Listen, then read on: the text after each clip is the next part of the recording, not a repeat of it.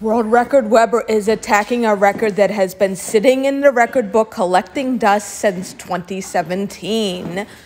Here, this holiday season 2022, she has to take one leg at a time, placing the foot past the level of the hand, holding a plank with the hands flat and in the same positions at all times. Tremendous flexibility and core workout and even strength. Let's see what she does. She has to break 85 reps for a new record.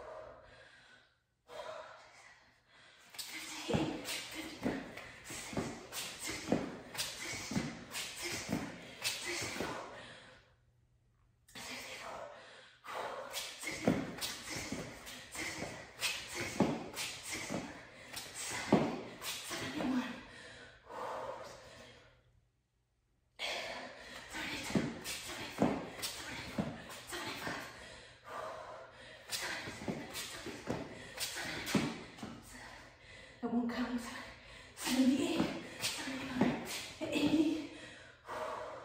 81, 82, 83, 84, 85, 86, 87, 88, 89, 90,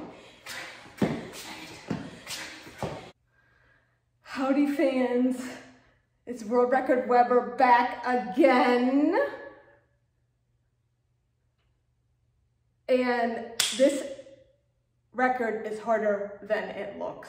Ooh, you have to extend yourself and test that flexibility and make sure it's ready to go because you have to extend the feet beyond the hands on every rep.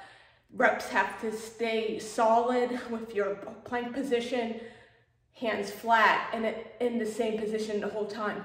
So, quite a flexibility core workout right there. And it's even aerobic too.